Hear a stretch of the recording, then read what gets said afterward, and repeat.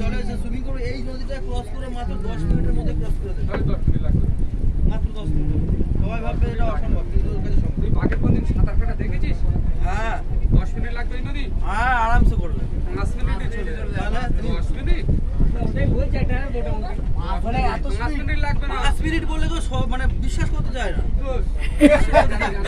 তার জন্য পাঁচ মিনিট এক্সটেন্ড করেছে।